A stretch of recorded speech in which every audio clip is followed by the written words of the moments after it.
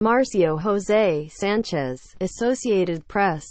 The San Francisco 49ers have their quarterback of the future, and he's about to become one of the richest men in professional sports.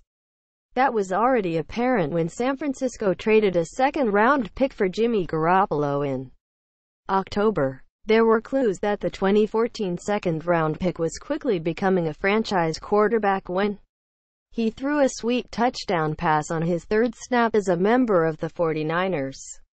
And more hints came when he followed that up by leading San Francisco to three consecutive victories over the Chicago Bears. Houston Texans and Tennessee Titans in December. But Sunday's performance against the Jacksonville Jaguars clinched it. The 26-year-old former Tom Brady protege is on track to become an elite quarterback. One capable of going toe-to-toe -to -toe with his old mentor and any other NFL starter. 49ers since the start of 2015 category with Garoppolo without him record 4-0-835 points, game 27. 517. 1 NFL. Com. Pro Football Reference. Garoppolo lit up a defense that entered Sunday ranked first in the league in terms of points allowed, yards per play allowed and takeaways per game. He completed all but 9 of 30 passes for 242 yards, passing for two touchdowns and running for another in a 44-33 victory over a team that hadn't allowed that many points since September 2015. The Eastern Illinois product has yet to lose a start in the NFL. It's one thing to win your first two with a Super Bowl caliber New England Patriots team but it's another thing to win the next four as part of a 49er squad that had lost 24 of its past 26 games before Garoppolo's debut as a starter on deck. 3. That indicates something special is brewing, which is exciting but also stressful since the 49ers' apparent savior has one game remaining on his rookie contract. Before Garoppolo made his first start, Niners head coach Kyle Shanahan said the team would likely use its franchise tag on him. I think it would be very hard for Jimmy to go in there and show over whatever time span that is. The rest of the season, that he could be the franchise quarterback, Shanahan said in November. For Grant Cohn of the Press Democrat. Also for us. That's a lot of pressure to get a guy ready and commit long term.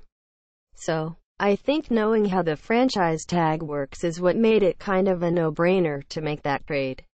Quote, but Garoppolo has blown past any reasonable expectations. And this four-week run should give him breathing room if he has a poor showing on the road against the Los Angeles Rams in the season finale. Regardless of how he fares in Week 17, he should still be in line either to sign a long-term contract worth $20 plus million a year or a franchise tender that could be worth as much as $24 million for 2018 alone. And if he continues to deliver the way he has thus far, he'll be worth every penny.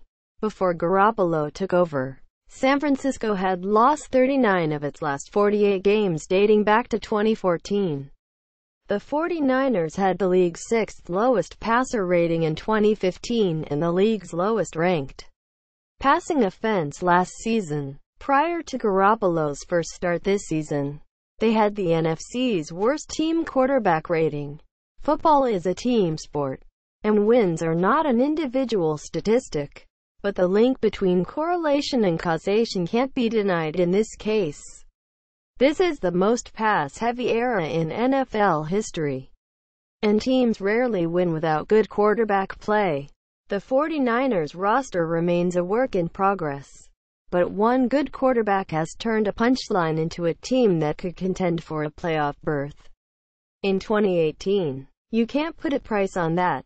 And it appears as though Shanahan and new 49ers general manager John Lynch are aware of such. The sample is small, but the numbers, the sudden success and the eye test all indicate Garoppolo is a superstar in the making. In 2018, that's all a quarterback needs to land a blockbuster deal. Brad Gagnon has covered the NFL for Bleacher Report since 2012.